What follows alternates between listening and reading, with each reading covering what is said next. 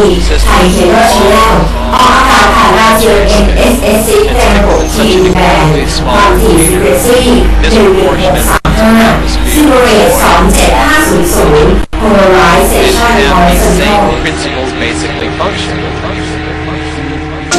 รายการต่อไปนี้เป็นรายการทั่วไปสามารถรับชมได้ทุกวัย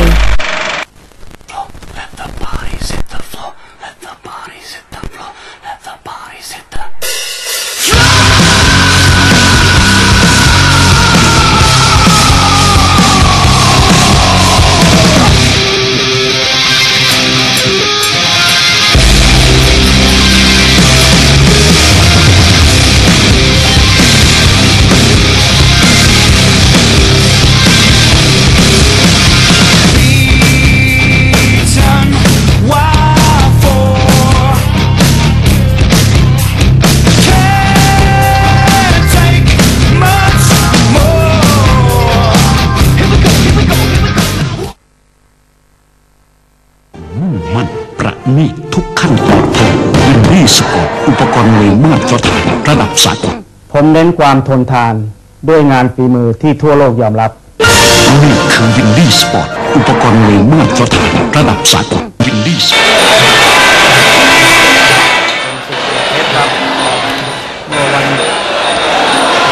ที่ผ่านมานี่ครับก็ฝ่ายแดงนะครับ เป็นเมืองไทยส.บุญเยี่ยมครับส่วนน้ำเงินก็การก่อกรรมนาถครับ เมื่อวานนี้สดๆครับเรานำตัดต่อคุณเหน่งเป็นคนถ่ายใช่ไหมใช่ครับ ถ้าไม่ดี โทษคุณเหน่งถ้าดีถ้าดีให้กิจสมุนดีไหมดีครับเอ้ยไม่ดีไหมแม่ต้องให้คนที่ถ่ายดินะครับ แต่ถ้าไม่ดีเซียนหูต้องรับผิดชอบทำไมให้ลูกน้องไปถ่ายแล้วไม่ดูแลให้ดีก็เกิดการผิดพลาดขึ้น ถ้าดียกให้ลูกน้องไปที่ถ่ายทำให้ดีนะครับ ถ้าเซียนหูพูดอย่างนั้นก็เห็นแก่ตัวฮะพอลูกน้องถ่ายไม่ดีก็มาโทษลูกน้องเวลาดีดีๆเสียหนูรับเหมาหมดคนเดียวเอ้ยเสียหนูเป็นคนทำทั้งหมดเนี่ยดีไม่ได้ลูกพี่ต้องรับผิดชอบครับลูกน้องที่ทำผิด ปัญหาอะไรเกิดขึ้นลูกพี่ก็ต้องรับผิดชอบไอ้สิ่งที่ตรงนั้นถึงจะถูกต้องนะครับ ถ้าบอกว่าเอาตัวรอดเนี่ยคุณคุณจะอยู่ในเอ่อการเดินของสังคมเนี่ยผมว่าถูกคนด่าแน่นะครับก็ดูวิธีการชกครับคุณเห็นภาพไปด้วยฮะเพราะบางคนดูติดดูติดกระตานะฮะครับ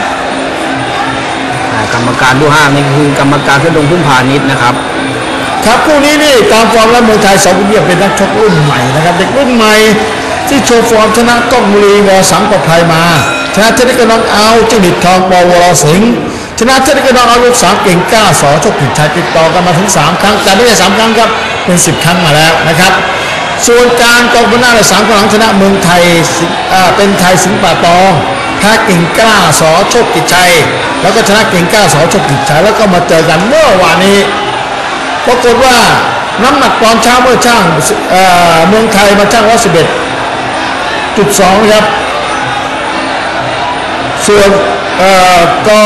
อการการกอกรรมนาถร้อยสามจุดสี่นะครับลดหนึ่งจุดสี่นะครับแล้วก็ชกเป็นคู่เอก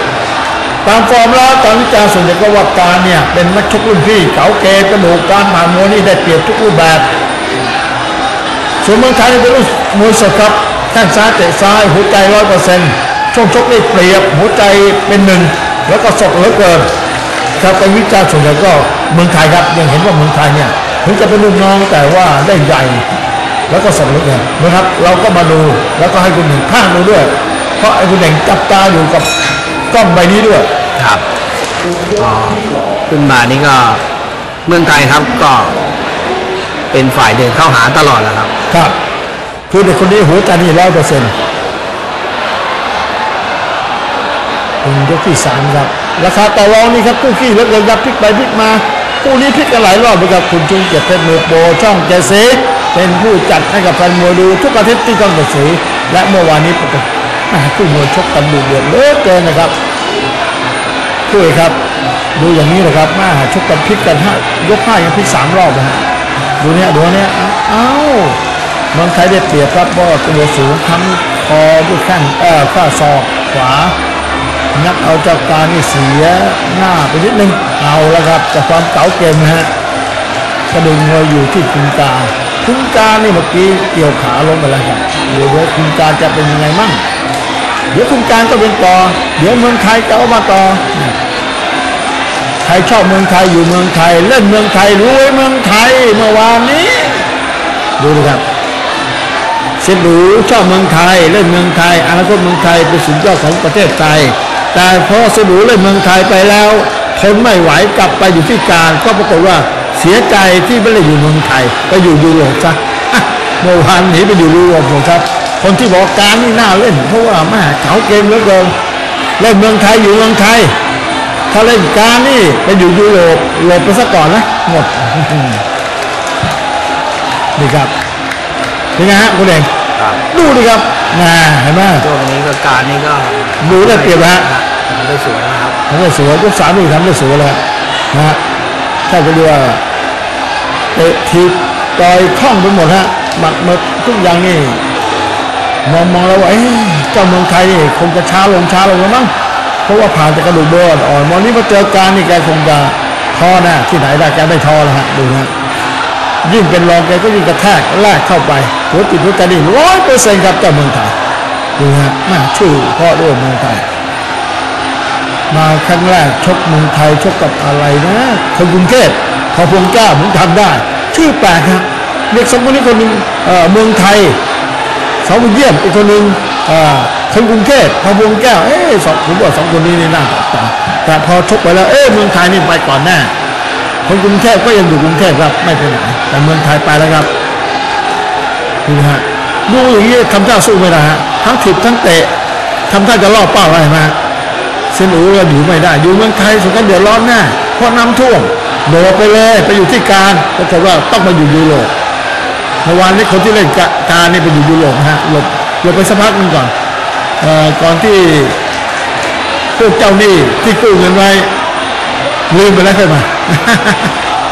แม่อยู่เมืองไทยไม่ชอบน่าชอบไปอยู่เมือง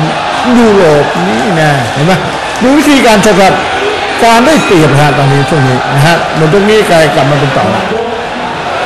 นะครับราคาต่อรองนะครับยังเหมือนกันฮะบางที่ยังเหมือนเราอยู่ แต่ส่วนใหญ่ก็หลอกกันไปหลอกกันมานะฮะคนทยเอ่อคนไทยชอบหลอกนะเอ๊ะว่าคนไทยคนชอบหลอกไม่ได้ฮะคนเล่นมวยสีกลุ่มเซียนมวย แล้วก็ต้องบอกด้วยว่าเป็นบางคนเท่านั้นเองบางคนก็เล่นกันอย่างจริงใจ บางคนก็หลอกเก่งครับหลอกเพื่อเอาสตังค์เขาใส่กระเป๋าตัวเองนะครับ ก็ต้องหลอกนะครับ เพราะว่าผีหลอกนี่คนหลอกน่ากลัวนะฮะดูนะเราก็อยู่เมืองไทยอยู่เมืองไทยแต่เปล่าครับไปเล่นกางกันหมดตอนนี้การเป็นต่อนะฮะประมาณสิบเก้าห้าสี่ดูนะฮะวิธีการชกการความเป็นมวยอาวุธมวยของเขานี่เลยครับเห็นไหมพอดูจังหวะดึงตัวออกอาวุธแล้วม่เซียนอูนี่อยู่ไม่ได้อยู่เมืองไทยเดือดร้อนแน่เพราะร้อนเหลือเกินที่ไหนได้เราไปอยู่โลกยูโรปสักพัก นี่นี่ยังไงคุณเองเงียบเงียบเงียบเงียบเอาต้อนน้อยเป็นไง นี่เห็นไหมฮะรอบเป้าไหมฮะครับต้นตรงนี้รอบเป้าเลยฮะโอ้โหทนไม่ไหวครับอยู่ตไทรงยนี้ก็ต้องทำอะไรไม่ได้แล้วครับเออเมืองไทยทำอะไรออกอาวุธไม่ได้เลยอะเดินเข้าไปเป็นลูกฟุตบอลให้เตะเล่นเลยครับดูเนี่ยเดี๋ยวโดนหมัดทั้งชุดด้วยทนไม่ไหวครับเล่นแล้วทนไม่ไหว ผมทำไม่ได้แต่ก็พยายามเดินเข้าหาแล้วครับ ครับรถเนี่ยดูฮะจะฟันจบเข้าด้วยนะฮะทั้งต่อยมันก็เข้าฟันจบก็เข้า แต่ว่าต้องว่าจากคนนี้กันเอานี่เป็นรองเห็นชัดเจนเลยฮะอ่านเกมกันแล้วว่าโอ้ยความเก่าเกมของการเริ่มออกอาวุธละเจ้าเมืองไทยชักหลงทางแล้วคิดว่าจะต้องหลงทางนี่ครับโดนนี่ครับเข้าสไปองมัดคมฮะอ่าจะฟันเต็มเต็มๆเนี่ยฮะดูเนี่ยทั้งแกจะโดน ซ้ายโดนขวาแต่แกก็พยายามที่กระทุ้งเข้าไปด้วยหมัดซ้ายตีศอกกระแทกเขาดูตอนช่วงนี้เป็นรองครับไทยหันไปช่วงนี้นี่เจ็บหมดเลยครับน้องกำลังไทยอยู่หลงทางแน่ละดูฮะแกต้องเดินลงเดินลงลงมาละจังหวะตาเขาเรานี่แกเป็นรองหมดเลยฮะถ้าดูอย่างนี้นะไม่มีประกอบราคาต่อรองบนล็อกเนี่ยต้องดูเลยชัดเจนว่าการนี่ได้เปลี่ยนแน่แต่ราคาต่อรอง คมไว้ครับ เพราะว่าคนดูมวยอ่านว่าเจ้าเมืองไทยเนี่ยสดเดี๋ยวยังไงก็ต้องมาเดี๋ยวยังก็ต้องมาราคาก็เลยแข่งที่เมืองไทยเห็นไหมอย่างเงี้ยโดนดาวเลยฮะถ้าดูราคาต้องไปไม่ไปนะฮะเอาลูกนี้หดคือเลยก้านคออ่าโต้ตอบเจ้าการนี่ไม่ให้กินฟรีนะครับเอาลูกนี้ใครเสียเปรียบอ่าคุณใดใครเสียเปรียบอ่าการเสียการเสียเปรียบไม่ใช่การได้เปรียบเพราะว่าดูจริงๆถูกเทล้มลงไปแต่ปรากฏว่าเจ้าเมืองไทยในแก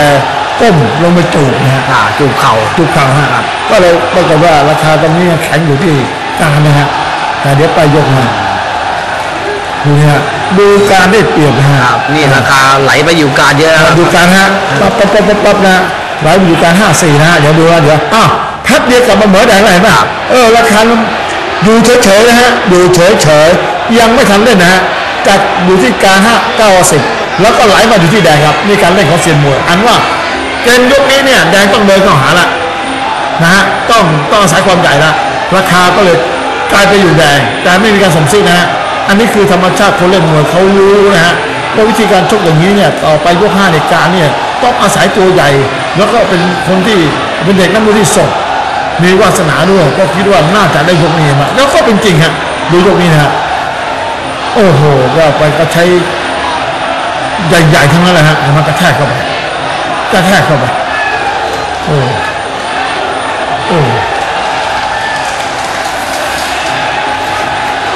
อะคุณเห็นข้างเลย นี่เป็นไง เห็นไหมยกนี้เห็นชัดเจนว่าคุณคุณการเมืองไทยอยู่ได้ คุณการ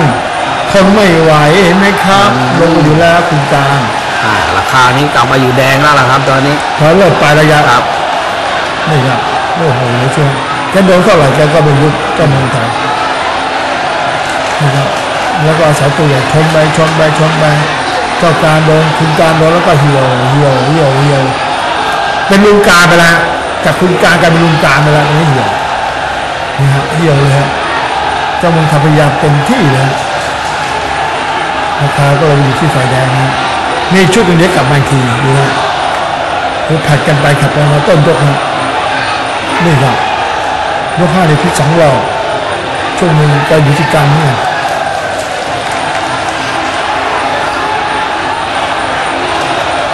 เอาการทำไง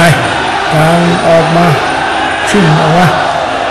และล่อจังหวะเข้าไงดึงมาก็เขาก็ไปนะดึงมาแล้วเขาก็ไปเดี๋ยวดูฮะเดี๋ยวจะมีการเอาคืนนะ นี่ฮะลูกนี้เสียหายหลายตอนนี้ราคานี่กลับเป็นที่การทันทีฮะครับเป็นต่ออยู่ประมาณสองสามหนึ่งแพ็คเดียวเงี้ยเดี๋ยวดูฮะเจ้าเมืองไทยไม่ปล่อยหนังทีทองนะครับเดี๋ยวดูเนี่ยเอาครับเดี๋ยวดูชุดนี้ฮะดึงกลับมาเมื่อกี้เมืองไทยเป็นกระเทือนไปใช่ไหมเอาตอนนี้แหละเจ้าการเป็นกระเทือนบ้างละเอาไหมฮะโอ้โหทีเดียวราคากลับไปแล้วฮะกลับไปอยู่เมืองไทยแล้วครับอ่าเมื่อวานนี้คุณดียกห้าหรือสองรอบสามรอบตอนนี้เสร็จแล้วหลายยกนี้เสร็จแล้ว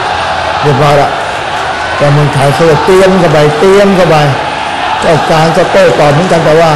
ดูแล้วอ่อนเราเว้ยแล้วครับนี่ครับตึ้มนี่อย่างนี้ คือเหมือนกับว่าเป็นลูกตัดสินเลยฮะราคาไปเลยครับหมดห้าเดียวครับ แต่ก็ยังมีราคาชี้ไปชี้มาโบเบโบเบผีหลอกตั้งวะกลางคืนหลอกกันใหญ่นะฮะเซียมวยหลอก แต่หลอกไม่พอเลยครับตรงกลางลุมพินีต้องบอกว่าเก่งชูมือให้เมืองไทยชนะแบบคู่ขี้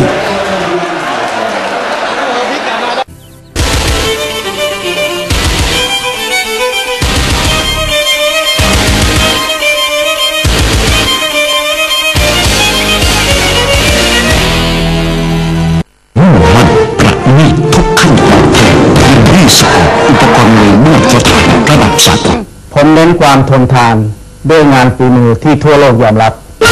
นี่คือ Windy Sport อุปกรณ์มวยมาตรฐานระดับสากลวินดี้สปอร์ตดูมวยตู้สู้เขาได้ใช้บริการของเสียอุและทีมงาน1900-11027และ1900-11039 มูลสดๆและสภาพแวดล้อมยกต่อยกนาทีต่อนาทีพิเศษสุด1900-11066สายตรงจากสระบุรีโดยจาวีมาตรงบริการใหม่ล่าสุด SMS มวยเด็ดเซียนอูค่าสมาชิกเดือนละ99บาทเท่านั้นสมัครสมาชิกได้ที่01-658-6848สุดจากทุกเวทีทุกตู้เซียนอูรับประกันคุณภาพ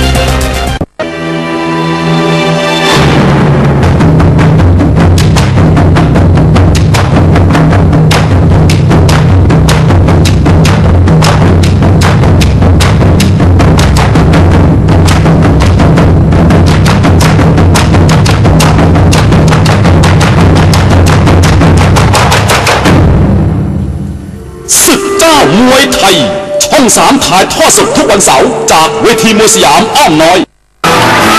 ดูมวยตู้ ไม่รู้ราคาต่อรอง ต้องโทรซิกซีเซียน1900 111 087 เสียงดังฟังชัดด้วยระบบดิจิตอลกด1คือหูกด2ชาคีพระประแดง กด3จากกอง และกด4เดี่ยวบางซ่อนอย่าลืม มวยตู้สู้เขาได้ ต้องซิกซีเซียนน้ำมันเหลืองสมุนไพรเชงซิมอิวเป็นยาแผนโบราณใช้ดมบรรเทาอาการวิงเวียนศีรษะคัดจมูกใช้ถ่ายบรรเทาอาการแมลงกัดต่อยใช้นวดบรรเทาอาการปวดเมื่อยใช้ดมใช้ถ่ายใช้นวดในขวดเดียวกันผลิตโดย บริษัทเกียรติวีเอ็นเตอร์ไพรส์จำกัดทองคุณภาพมาแล้วทองซุปเปอร์เคเป็นทองรุ่นใหม่ สีทองอร่ามสวยงามจับตา ทนกว่าทองไมครอนสองเท่าตัว ใส่ลงเล่นน้ำทะเลได้ ไม่ลอกไม่ดำ ใส่แล้วไม่คัน รับประกันคุณภาพทองแท้ซุปเปอร์เค โดยเซียนอู เบอร์หนึ่ง ราคาที่ขายในท้องตลาดทั่วไป 500 บาท ลดเหลือ 450 บาท ลดเหลือ 450 บาท ทองซุปเปอร์เคเบอร์ 2 น้ำหนัก 1 บาท ราคาที่ขาย 900 บาท ลดเหลือ 700 บาท ค่าจัดส่งฟรี ทองซุปเปอร์เคเบอร์ 3 ที่ขายดีที่สุด น้ำหนัก 3 บาท ราคาที่ขายทั่วไป 2,008ลดเหลือ 1,100 บาท ลดเหลือ 1,100 บาท ติดต่อ สอบถาม หรือสั่งซื้อ 02 275 5892 081 841 3927 และอีกเบอร์ครับ 081 811 3980 081 811 3980 เซียนอูรับรองคุณภาพ เซียนอูรับรองคุณภาพ ค่าจัดส่งฟรี ค่าจัดส่งฟรี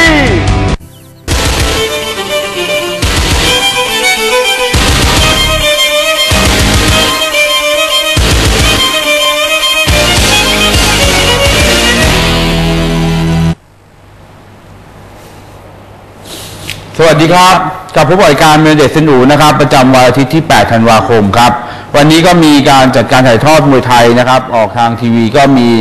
หลักๆก็สองช่องด้วยกันมีช่อง 9 อัศวินดำแล้วก็ช่อง 7 สีมวยไทย 7 สีนะครับ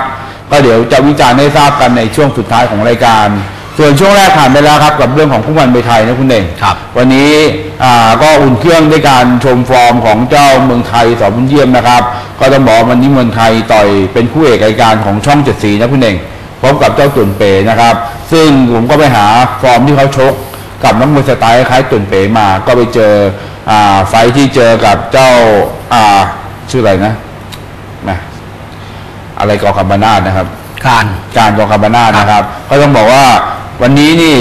อ่าสไตล์การชกทรงมวยนี่ของเจ้าตุ่นเป๋นี่ถือว่าคล้ายๆการนะครับ แล้วก็รูปร่างชงชกเนี่ยตุ่นเป๋ดูอ่า เสียเปรียบรูปร่างนิดนึงเตี้ยสั้นกว่าเจ้าเมืองไทยนิดนึงนะครับสไตล์การชกคล้ายๆกัน ดังนั้นแล้วเนี่ยผมว่าดูการอุ่นเครื่องดูประสบการณ์จากไฟก่อนนี่น่าจะวิเคราะห์ได้ประมาณหนึ่งนะครับ ว่าคุณจะออกมาเป็นยังไงนะครับ ก็ลูกที่อาจจะวิจัยช่วงสุดท้ายแล้วกันเนาะอะเดี๋ยวช่วงนี้นะครับก็คงจะเป็นการสรุปผลการแข่งขันนะครับ ของมวยตู้เมื่อวานที่ผ่านมานะครับ แล้วก็ไปพูดถึงเรื่องของรายการดีๆในในสัปดาห์หน้ารวมถึงข่าวสารต่างๆ ในวงการมวยตอนนี้มีข่าวอะไรน่าสนใจนะครับ ก็จะอยู่ในช่วงนี้อะแต่ก่อนอื่นเดี๋ยวไปดู SMS ก่อนคุณเองครับครับ สวัสดีครับ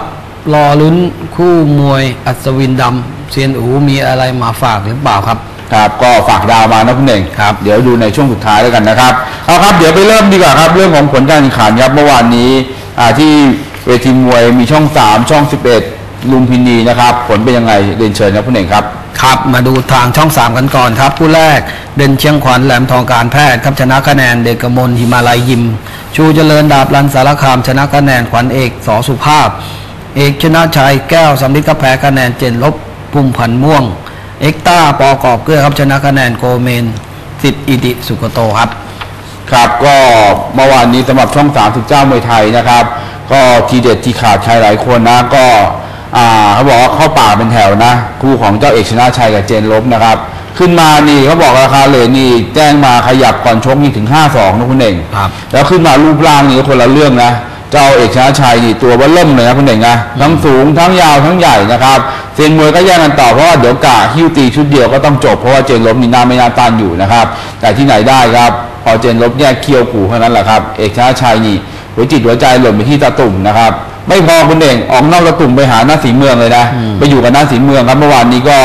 อ่าสู้ไปสู้มาเอกชนะชัยเมื่อวานนี้สู้ไม่ถึงครึ่งตัวด้วย เห็นเจ้าเจนลบแล้วกลัวนะครับ ก็ผลปรากฏเจนลบครับ อาศัยกระดูกมวยที่เหนือกว่า อาศัยหัวจิตหัวใจที่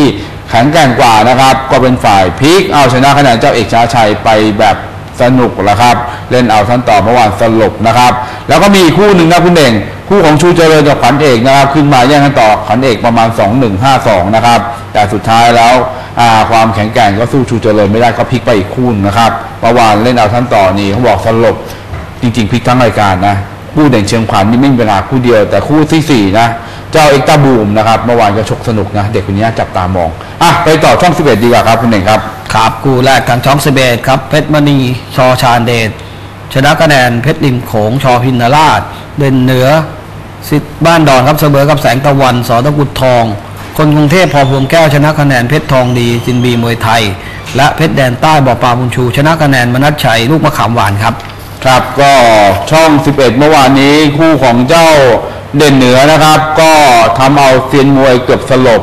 เขาบอกหมดสี่ยกเป็นรองประมาณ 21 นะครับ ยกสุดท้ายไล่ต่อยเจ้าแสงตะวันเมาไปเมามา แล้วก็ผลปรากฏว่าหมด5ยกเด่นเดือต่อ 2-1 นะครับ แล้วกรรมการชูให้เสมอกันไปอย่างสนุกนะครับแหมคู่นี้น่าจะมีการล้างตาอีกครั้งนะครับ แล้วก็เจ้าคนกรุงเทพเมื่อวานนี้ถือว่าแจ้งเกิดแบบโอ้โหเต็มภาคภูมินะก็ดูรูปไฟต่อไปคนกรุงเทพจะเจอใครนะครับอะไปต่อรอบต่อไปคุณหนึ่งทีเจนครับครับคู่แรกครับ แทนชัยสันติอุบลครับชนะกระแดนแพทริก คุ้มพลอยิม กล้องธรณีวอปัญญาไวยชนะนกแสนชัยน้อย สินจ่ากุ้งยกที่3น็อตใหม่อนิตยาพร ชนะคะแนนอภิวัตเคทียิม และซุปเปอร์แชมป์ชอพัชรพลครับแพ้คะแนน เพชรวันใหม่วันใหม่ยิมครับ ครับก็เป็นเรื่องของผลของ CGN นะครับ ไปต่อรอบสุดท้ายครับรอบค่ำครับก็ทางช่องทีสปอร์ตครับคู่แรกครับแก่นอุบล KRS ยิมครับชนะน็อกสตอเพชรสอคณิสรยกที่ 3 วันพเดชชอพินาราชชนะน็อก พรสวรรค์เล็กอบุญช่วยยก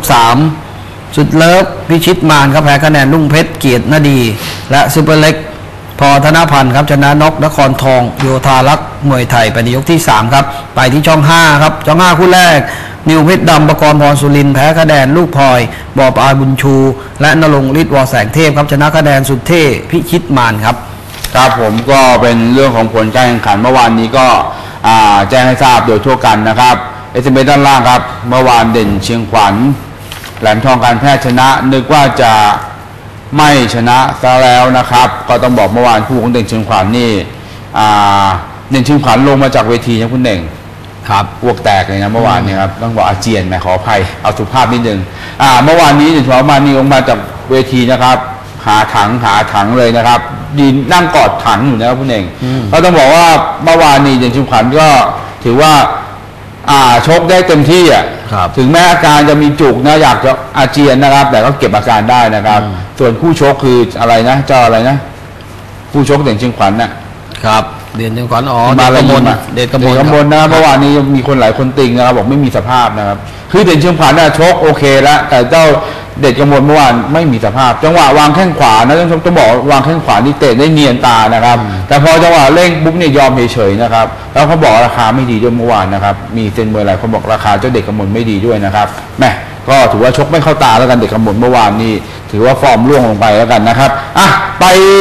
กันต่อเรื่องของรายการต่างๆเดี๋ยวคุณเองครับสัปดาห์หน้ามีอะไรน่าสนใจมั่ง ครับก็ครับไปผมที่ศึกปอประมุขครับวันอังคารที่ 10ธันวาคมครับ ที่เวทีลุมพินีครับ ก็คู่เอกนำรายการ แสงดาวสอกิติชัยครับ จะเจอกับเพชรลำสินสอกอสุงไหงยิมกำพลเล็กอบตกัมพีครับเจอกับเพชรวินิตสอกิติชัย แก้วกล้า แก้วสำลิดครับจะเจอกับเพชรเอกสอมีอานันต์แล้วก็มีอ่า กรอคุณตทรครับเจอกับเดชชาติสอกิจรุ่งโรจน์กุมารดอยจิตสอจิตพักดีครับ พบกับนเดชน์สิทธิผู้พันตู เดชฤทธิ์สิทธิ์เบญจมะ จะเจอกับขุนเดชหลังคากระบะบ็อกซิ่งบอย และเพชรอนันต์ปอประมุขครับจะเจอกับเพชรศิวะสอกิติชัยครับครับผมก็เป็นเรื่องของคู่มวยครับน่าสนใจนะครับเอติเมตด้านล่างครับคุณเอกครับครับจะบวกเพชรเกียรติประชา ราคาดีไหมวันนี้น่าเล่นแบบน่าเล่นหรือเปล่าครับครับก็เห็นจากวีเมื่อเช้าฝากมานะชุมวเพชรเกียรติประชานะครับเขาบอกเป็นทีเด็ดนะก็เดี๋ยวดูว่าอ่าจะเป็นทีเด็ดจริงหรือเปล่าเดี๋ยววิจารณ์ในช่วงสุดท้ายของรายการนะครับอ่าช่วงนี้ก็ไปดูต่อคุณเองครับนักกิ่งทองครับพรุ่งนี้อ่าแต่ผมว่าพรุ่งนี้นักกิ่งทองผมว่าเดือดเดือดเราหนาวๆร้อนๆนะครับเพราะชั่วโมงนี้นี่ ถึงแม้ทางฝั่งราชดำเนินนะครับ จะย้ายมาจัดที่ทางเวทีลุมพินี คือหนีง่ายคือหนีม็อบนะครับ แต่ถึงจะหนีไปแล้วเนี่ยบรรยากาศพรุ่งนี้ผมว่าไม่เอื้อมเลยกับการชมมวยนะ ก็ไม่รู้ว่านักยินทองจะรู้สึกยังไง ผมว่าก็คงจะหนาวหนาวๆร้อนๆนะคุณเน่งครับ ก็พรุ่งนี้นี่ปัญหาในกรุงเทพก็คงจะมีเยอะพอสมควร อ่าก็เอาเป็นว่าชุมนุมกันไม่เท่าไหร่ไม่รู้นะครับ แต่ขอว่าเอา เอาขอให้แบบสงบแล้วกัน แล้วก็ยังไงแล้วขอสักสิบเปอร์เซ็นจากการชุมนุมมาชมมวยหน่อยสิบเปอร์เซ็นนี่อาจจะประมาณสักแสนคนไม่ถึงอะผมผมขอแค่สักเอาแค่หนึ่งเปอร์เซ็นแล้วกันจากการผู้ชุมนุมนะครับ เอามาหน่อยหนึ่งมาชมมวยนักกิ่งทองหน่อยครับช่วยตีตัวนะครับเพราะนักกิ่งทองพรุ่งนี้ผมว่าเดือดร้อนแน่นะถ้าเกิดคนดูมวยน้อยเพราะว่าบรรยากาศไม่ค่อยดีเพราะหลังคาหลังชาตินี่น้อยด้วยนะคุณเน่งครับอ่าตึกเพชรพิเศษเมื่อสัปดาห์ก่อนเก็บได้แค่3 0 0แสนกว่านะทั้งที่รายการนี่ถือว่าใช้ได้นะครับ แหมก็น่าเห็นใจสำหรับโปรโมเตอร์นะครับ ทางเครือข่ายของเวทีมวยราชดำเนินนะครับก็ตอนนี้นี่ค่าผ่านประตูนี่เขาบอกเก็บนี่รู้สึกหนาวหนาวร้อนร้อนๆขาดทุนก็ส่วนใหญ่นะครับ ถ้ามาดูทางฝั่งโควต้าของลุมพินีเนี่ยอ่าถามว่าอ่าเป็นยังไงบ้างนะครับ ก็ต้องบอกว่าก็พออยู่ได้นะอ่าก็ไม่รู้ว่าเหตุผลกลใดนะแต่ลุมพินีก็ยังพออยู่ได้นะครับ ค่าผ่านประตูก็ยังพอมีกำมีกำไรนิดๆหน่อยๆนะครับ อันนี้ก็ เห็นใจนะครับก็ช่วยกันไปนะช่วยให้กำลังใจแล้วกันนะครับทางฝั่งราชดำเนินอะดูคู่มวยของนักกิ่งทองครับพรุ่งนี้เป็นยังไงคุณเองครับก็ศึกวันยิงทองจันทร์ที่ 9 ธันวาคมที่ราชดำเนินครับมาดูคู่เอกกันเลยครับ พรมงคลเคทียิมจะเจอกับเพชรงาม เกียรติกำพล คมเกียรติทอมโนธรรมรักษาครับจะพบกับเทพนิมิตสิทธิ์มนชัย พยักน้อยวอยวัฒนานนท์จะเจอกับกิติศักดิ์แกนนิสโตนชบวกเพชรสิทธิ์ชาญชนะครับจะพบกับเด่นอีสานเอ็กซิลิคอนยิม ขวัญใจนกแก้วรีสอร์ทเจอกับโปรลิกน้อย ลูกเอราวัน เพชรใหม่ ตากใบการช่าง พบกับแสนชาญชัยไล่อ้อยเนตรนคร และววลานนท์วแสงเทพครับจะเจอกับศักเพชรเกียรติพัทรพันธ์ครับครับผมก็เป็นคู่มวยวันพรุ่งนี้นะครับ เจนลบพุ่มพันม่วง ชนะอีกแล้วได้สมใจขอบคุณขอบคุณซินอูมาก ๆ ได้สมใจคืออะไรครับ ถ้าเมื่อวานใครฟัง 1900 นะครับ เมื่อวานช่วงเช้านะ ผมบันทึกเทปไว้ก็คงจะอ่าคงมีความสุขแล้วกันสำหรับคู่ของเจนลบนะครับ ส่วนในรายการสนุจัดผมไม่รู้เขาวิจารณ์ใครนะครับอะตัวนเป๋เกียรติคมสิงห์ความพร้อมก่อนการชกวันนี้เป็นยังไงบ้าง สู้ได้ไหมคุณเองอืมสู้ได้ครับ สู้ได้นะอ่าชนะแพ้ว่ากันไม่อีกรู้ทีกันอืมแต่แต่ถ้าเกิดตัวนเป๋เนี่ย แกเตะขวานะครับ เอาขาที่ดูขารีบหน่อยหนึ่งเตะขวาแล้วคาไว้เนี่ย ผมเกรงว่าวันนี้เขาเตะแล้วคาคาไว้นะครับ เดี๋ยวจะเหมือนจับเจ้าการกองกำมนาดเพราะเล็กกว่าพอจังหวะรูปร่างเสียเปรียบพอคาไว้เนี่ย เจ้าอ่าเมืองไทยเนี่ยแกมีลูกมีหมัดมีศอกเสริมนะพอขาปุ๊บเนี่ยคือขายกไม่ได้แต่แกยังมีศอกมาเสริม ตรงนี้ครับส่วนเป๋เก็บแขนเก็บศอกของเจ้าเมืองไทยไม่ดีผมว่าอาจจะโดนศอกชักได้นะคุณเอกครับไฟต์ล่าสุดนี่ใครนะโดนไปหงายท้องเลยซึนามิซึนามิครับฮะ ครับกลับบ้านไม่ถูกนะหงายท้องนะครับต้องบอกว่าเมืองไทยเนี่ยศอกแกแรงนะครับ แล้วก็ข้อดีของเมืองไทยคือแกเป็นนักมวยที่รูปร่างสูงกว่าชาวบ้านเขาใช่พอสูงเนี่ยจังหวะฟันศอกเนี่ยคือเขาฟันตรงๆมันก็แรงนะคุณเอกครับแต่ถ้าฟันแบบศอกกดลงมานี่ผมว่าหนักกว่าเดิมนะอันนี้เรื่องนิ้วมีอันตรายครับเพราะตุ่นเปต้องไปแก้นะครับ ว่าจะแก้ยังไงดีนะครับอะไปต่ออยางคุณเองรายการต่อไปครับมาดูศึกแฟร์แท็กครับในวันศุกร์ที่ 13 ธันวาคม ที่เวทีลุมพินีครับ ก็คู่เอกครับไข่มุกขาวปลอดไทยรุ่งเรืองคาไม้ครับจะพบกับเพชรทวีสอกิติชัยน้องยศสิทธิ์เจการเจอกับธนูทองสอโชคกิจชัยมะนาวหวานสิทธิ์ทองเพชรยินดีครับ เจอกับอัมบาสลูกสวน ยอดขุนศึกสอสุชาติ เจอกับเมืองพลเอ็กเอ็นแอนพีบ็อกซิ่งซูมาอี้ออวีละวันครับจะเจอกับยอดไก่แก้วแฟร์เทคเพชรสมพงษ์สอเฉลิมศักดิ์ครับจะเจอกับเพชรเสรีศักดิ์วิเชียน และพุทธผาดน้อยลูกหนองแหนครับ เจอกับยอดศิลป์ยอดศิลปินลูกจำปาชัยครับครับผมก็เป็นคู่มวยรายการศึกแฟร์เทคนะครับ ในวันศุกร์ที่ 13 ธันวาคม ก็เสียสันเสียบรรจงนะครับ เสียงเฮียตามนี่ก็คงจะสบายหน่อยก็คงจะพ้นช่วงวิกฤตไปแล้วนะครับ แต่สองสามวันนี้ก็คงวิกฤตกันอยู่นะครับ ไทยรุ่งเรืองเมืองโพลทอง ราคาต่อเป็นยังไงคู่นี้ใครจะชนะอ้าวคุณเองว่าไปเลยครับ ช่องเก้าสินดำครับ ราคาต่อเป็นไง ราคาเลทเปิดไหมคุณเองไม่เปิดครับเลทไม่เปิดนะครับอ่าเลทไม่เปิดนะครับ แต่รู้สึกจะมีการเดิมพันสองแสนบาทนะครับ อ่าเดชสอเพลินจิตค่ายนี้เซนหนูว่าวันนี้จะชนะน็อกไหมเล่นน็อกเลยนะครับคุณเองอ่าน็อกไม่เดชน็อกไม่รู้แต่วันนี้ไม่ได้ต่อย ไม่ได้ต่อยครับ อ่า เอาเป็นว่าไปดูที่ค่ายแล้วกัน ไปซ้อมเตะกระสอบไปซ้อมปั้มที่ค่ายนะครับ ใครอยากเห็นไปดูที่ค่ายสอเพลินจิต วันนี้ช่องเจ็ดสีงดนะครับอะไม่งดนะขออภัยอาเดชเนี่ยถอนออกไปนะไม่ได้โชว์กับมวยคู่นี้นะครับครับอ่าเอาคู่ไหนมาเสริมแทนคุณเองเอาเอ่อเพชรกับเดชนรงค์มาเสริมแทนครับ ครับผมก็ยกคู่ที่ 5 ของรายการขึ้นมาเป็นคู่แรกของรายการนะครับ ก็เดี๋ยวติดตามว่าจะวิจารณ์ในให้ทราบกันในช่วงสุดท้ายของรายการนะครับ ช่วงนี้ก็ไปดูข่าวคราวอ่ามีอีกสักรายการไหมคุณเอง ครับก็มีรายการศึกกิมินแดครับ วันอังคารที่ 17 ธันวาคมครับ ที่ลุมพินีครับ ก็คู่เอกนำรายการครับ ดีไซน์ราชานนท์จะพบกับฉลามขาวเกียรติเฉลิมพบ ตลาดแขกศักดิ์สำลิดพบกับ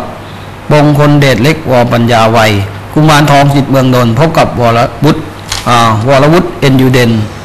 ดาวพยักศักปาริยาครับพบกับเพชรกลัดจิตเมืองนนท์โชคนำโชคอำนวยจายุทธกองสืบ เจอกับลุ่งพนมเอสทีดีทานสปอร์ต เก่งสอโชคนิตยาครับ เจอกับคมแฝดปอ เชิดเกียรติ และน้องวิวสอพับพานาลายพบกับเพชรโทปอฉลาดครับครับว่าเป็นคู่มวยรายการของศึกอีเมนแอร์นะครับ ของไทยต่อยนะครับ ไอทีเมนด้านล่างคุณเองครับครับ มังกรทองตอหมอสีจะเอาชนะได้เปล่า ความพิษโอเคไหมครับ เป็นไงคุณเองโอเคไหมมังกรทองต่อหมอสีต่อยวันนี้ป่ะ อ่าต่อยนะครับช่องเก้าป่ะคุณเองใช่ครับมังกรถอนไม่ถอนยัง มังกรทองยังอยู่ครับยังอยู่นะครับ เจอกับไทยรุ่งเรือง อนุวัฒน์หนุ่มยีนตะวันนาครับ จะสู้ได้ไหมครับ ครบยก จะสู้ได้ครบยกไหมเซียนอู อ่าอนุวัฒน์แหม่ไม่ได้ชกนะครับไม่ได้วันนี้ต่อยนะครับ ขออภัยด้วยแล้วกัน ก็รู้สึกจะมีคิวรู้สึกจะไปต่อยที่ต่างจังหวัดนะคุณเน่งครับอ่าก็เดี๋ยวติดตามแล้วกันมีคิวรู้สึกว่าว่าว่าจะมีการชกกับอะไรนะ เจ้าอองลีสอเตชะพันธ์นะแก้มือกันนะครับ ก็ยังไงเดี๋ยวมีรายการมาจะแจ้งให้ทราบแล้วกันนะครับอะช่วงนี้ก็คงจะไปดูข่าวคราวของนักมวยดัง ๆ ในอินเทอร์เน็ตดีกว่าครับในภาพที่ฝากมานะครับ ก็เดี๋ยวให้น้องขึ้นที่หน้าจอแล้วกัน ก็ไปดูนิดนึงอ่าไปดูโมอมาตากันเนี่ยคุณเอง ฉายานี้ไม่ได้มาเพราะโชคช่วย เพราะโมจริง ๆ โมตลอดการครับ แต่การโมของพี่บัสนี่เขาบอกว่าโมแล้วทำได้ นี่ไม่ได้โมแต่จริงๆเขาบอกโมอมาตะนี่โมทำได้ครับ ก็ล่าสุดนะครับอ่าหลังจากที่ต้นเดือนธันวาคมที่ผ่านมาวันที่3ธันวานะครับ เปิดมินิคอนเสิร์ตอ่าสามหมัดสะบัดใหม่นะมีสามหมัดสามชาติด้วยนะครับอ่าที่เวทีมวยลุมพินีนะครับ ก็สร้างกระแสมาระดับหนึ่งนะครับ ล่าสุดนี้เขาพี่บาสก็โทรมาแจ้งผมบอกว่า ต้นเดือนมกราเนี่ย จะมีการไปชกที่ประเทศจีนโดยที่การชกเนี่ย สัญญาเบื้องต้นว่าจะมีการจัดชกสมรักคำสิงห์เนี่ยชกประมาณ 10 ครั้งใน 1 ปีนะครับครับ สัญญานี้เซ็นยาวนะคุณเองเนื่องจากว่าโปรโมเตอร์ผู้จัดที่ประเทศจีนนะครับอ่าสปอนเซอร์รายใหญ่รู้สึกจะเป็นอ่าผู้ผลิตอาหารเสริมรายใหญ่ที่ประเทศจีนนะครับ สนใจในตัวสมรักคำสิงห์ครับ ก็คือชอบมากๆ ถึงขนาดลงทุนมาหาที่ค่ายมวยนะครับ แล้วติดต่อโดยตรงนะครับ ก็จะจ้างพี่บาสชกที่ประเทศจีนทั้งหมดสิบไฟต์ด้วยกัน ทั้งจ้างชกด้วยแล้วก็จ้างเป็นโปรโมเตอร์ด้วยประกบจัดต่างหากนะครับ โดยที่สิบครั้งเนี่ยก็จะมีโควต้าโดยที่พี่บาสเอานักมวยไทยไปต่อยด้วยนะครับเบื้องต้นนี้ก็สามารถพาคนไทยไปร่วมกิจกรรมเนี่ยทั้งหมด 30 ชีวิตต่อหนึ่งครั้ง โดยที่มีทั้งนักมวยมีทั้งเทรนเนอร์นะครับและผู้สื่อข่าวตามไปนะครับก็เบื้องต้นนี้ก็เรียนเชิญมาทางรายการเบรสนูนะครับก็เชิญไปทำข่าวด้วย ก็แมตช์แรกก็ช่วงเดือนมกราคมนะครับ ที่จะถึงนี้คือเดือนหน้านะครับ โดยที่พี่บาสนี่ก็ตอนนี้ก็ซ้อมฟิตร่างกายที่ค่ายนะครับ ก็เดี๋ยวติดตามข่าวต่อไปแล้วกัน ก็เบื้องต้นเดือนหน้าชกแน่นอนนะที่ประเทศจีนนะครับ ส่วนอ่ารู้สึกว่าสัญญาที่เซ็นไว้กับทางคุณวิทย์เมืองนครน่าจะครบแล้วนะคุณเน่งครับกี่ไฟล์นะหกไฟล์ป่ะครับอ่า น่าจะใกล้ครบผมว่าน่าจะครบแล้วนะครับอะดูคู่ขวัญเอกสอสุภาพชกเมื่อวานมันจริง ๆ สุดยอดคนนี้ผมว่าได้ตังค์นะครับ อ่าเมื่อวานขวัญเอกขึ้นมาต่อ5-2อ่าแสดงว่าคนที่ส่งมานี่น่าจะอยู่ทางเจ้าชูเจริญ อืมถึงบอกว่ามันและสุดยอดนะครับ เอ็กซ์ดับบูปอกอบเกลือผมนึกว่าจะชนะน็อกแต่ชนะคะแนนก็โอเคอยู่ โอ้โห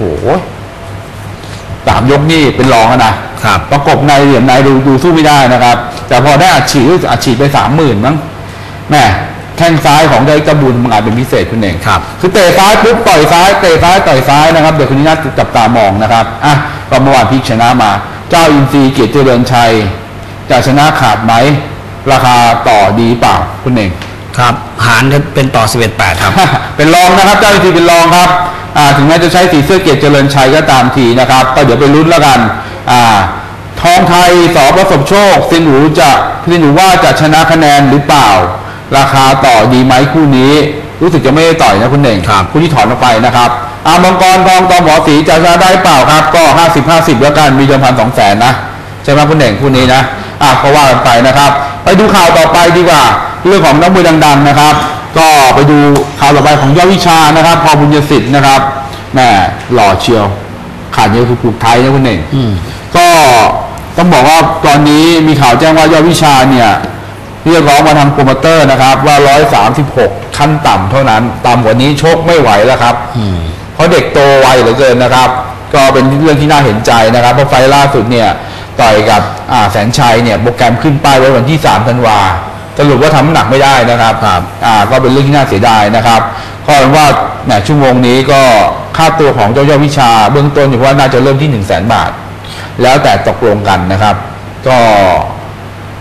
แหมไฟล์ก่อนจะชกกับแสนชัยก็ลื่นหกล้ม หัวแตก อืมไฟล์นี้จะชกน้ำหนักก็ขึ้น อาจจะเป็นเพราะเรื่องของหน้าหนาวด้วย แล้วก็มีการเขาบอกปิดแถวแถวโบเบนะ มีการประท้วงกันแถวนั้นนะครับทำให้น้ำมวยอาจจะไม่ได้วิ่งไม่ได้ซ้อมนะครับ ก็ทำให้น้ำหนักขึ้นนะครับ ก็เอาเป็นว่า นอกจากจะไม่ได้ค่าตัวแล้วเนี่ยไม่ได้ชกแล้วเนี่ยยังส่งผลทำให้เรื่องของอผลงานในรอบปีเนี่ยเจ้าเยาวิชาน้อยลงด้วย มีผลต่อเรื่องของการเป็นนักมวยยอดเยี่ยมประจำปีนะครับ ของปี 56 นะครับก็ทำให้ 5 ไฟของยอดวิชาชนะมา 5 ไฟจริงนะครับ แต่ชกแค่ 5 ไฟ ตอนนี้ที่เด่นๆมานะคุณเน่ง เด่นๆขึ้นมาเนี่ยก็มีอย่างเจ้าอะไรนะประกรณ์ ปกรณ์รายนี้ต้องบอกว่ากำลังฮอตขึ้นมานะ ล่าสุดปกรณ์ชนะก้องศักดิ์นะครับ คือฟอร์มแบงร้อนแรงกับปกรณ์นะครับ ก็อีกตัวหนึ่งที่เป็นตัวเต็งจ๋านะครับ ต้องบอกเต็งจ๋าจริงๆเพราะว่าปราบยอดมวยสองสองรายด้วยกัน ไม่ว่าจะเป็นเจ้าแสงมณีนะครับ หรือจะเป็นอย่างเจ้าสามเอล่าสุดนะครับแหมซูเปอร์แบงค์นักชกรายนี้นี่ถือว่ากำลังร้อนแรงสองตัวเนี่ยผมว่าน่าจะเป็นตัวเต็งนะอ่ามาเมื่อดีมีเสกสรรนะ มีเสกสรรมีอ่า ที่เต็งอยู่ก่อนมียอดวิชาไฟต์ที่แล้วไม่ได้ต่อยแหมปีนี้ผมว่าลุ้นกันสนุกแล้วกันว่าใครจะเป็นยอดมวยนะครับ ก็เดี๋ยวอ่าเบื้องต้นนี่ชมรมเพื่อนหนึ่งเก้านะครับ จะมีการประชุมคัดนักมวยยอดเยี่ยม แล้วก็ค่ายมวยยอดเยี่ยมนะครับ ประจำปี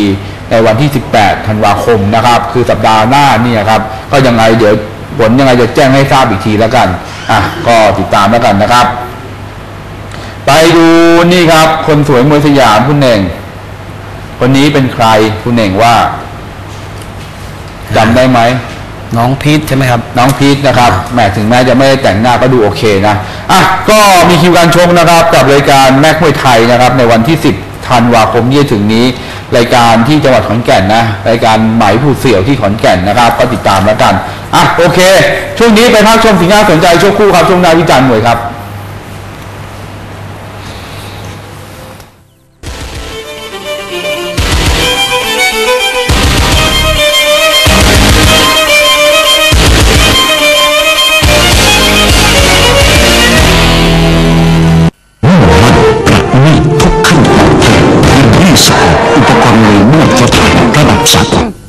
ความทนทาน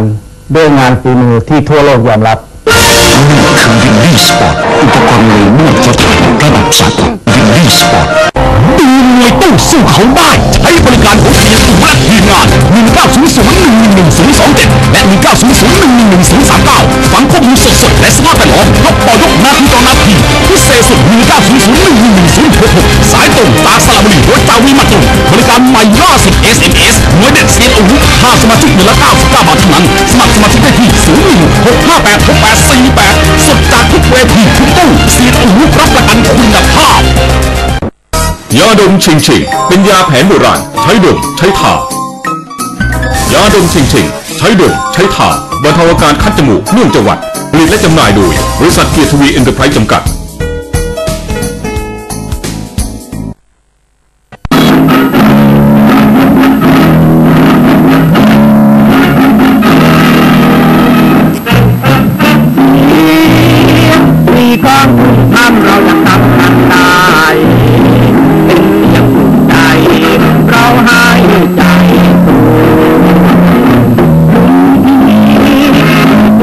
าวไทยยอมรับเราต้องสู้เพื่อผู้เมืองไทยทองคุณภาพมาแล้วทองซุปเปอร์เคเป็นทองรุ่นใหม่ สีทองอาราม สวยงามจับตาทนกว่าทองไมครอนสองเท่าตัว ใส่ลงเล่นน้ำทะเลได้ ไม่ลอกไม่ดำ ใส่แล้วไม่คัน รับประกันคุณภาพทองแท้ซุปเปอร์เค โดยเซียนอู๋ เบอร์หนึ่ง ราคาที่ขายในท้องตลาดทั่วไป 500 บาท ลดเหลือ 450 บาท ลดเหลือ 450 บาท ทองซุปเปอร์เคเบอร์ 2 น้ำหนัก 1 บาท ราคาที่ขาย 900 บาท ลดเหลือ 700 บาท ค่าจัดส่งฟรี ทองซุปเปอร์เคเบอร์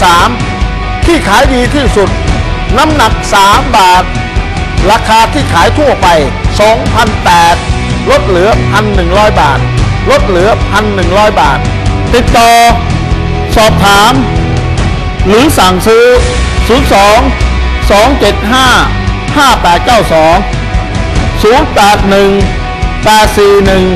3927 และอีกเบอร์ครับ 081 811 3980 081 811 3980 เซียนอูรับรองคุณภาพ เซียนอูรับรองคุณภาพ ค่าจะส่งฟรี ค่าจะส่งฟรี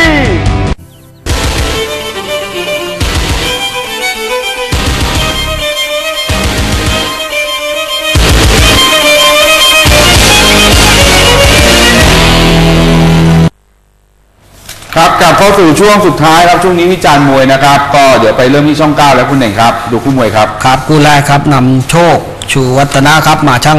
118.9 ขาด 0.1 ปอนด์ครับเจอกับชโมกเพชรเกียรติประชาครับ 118 ปอนด์ขาดไป 1 ปอนด์ครับครับคู่แรกนี่นำโชคนี่ครับครั้งสุดท้ายก็ชนะคะแนนชนะน็อกนะครับเหนือเทพเลือกเฟนเจอร์ที่ลุมพินีครับ ส่วนเจ้าชมบกเพชรครั้งสุดท้ายก็ไปชนะยอดสนสอสมหมายที่เวทีมวยราชดำเนิน เปรียบเทียบกันนะครับชอบที่ชมบกเพชรเพชรประชานะครับอ่าดูโดยรวมแล้วเห็นว่าอ่าเรื่องของรูปร่างแล้วก็เข่าในได้เปรียบน่าจะดีกว่านำโชคครับ ครับคู่สองครับไทยรุ่งเรืองเมืองโพนทองครับ 40 กิโล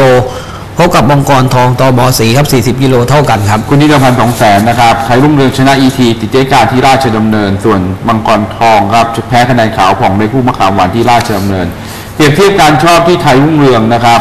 ที่ชอบไทยรุ่งเรืองเนี่ยเพราะเรื่องของความแข็งแกร่งเข่าในได้เปรียบน่าจะดีกว่าเจ้าอ่ามังกรทองครับครับคู่สามครับ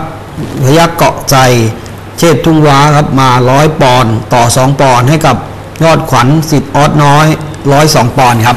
ครับคู่นี้ก็ไป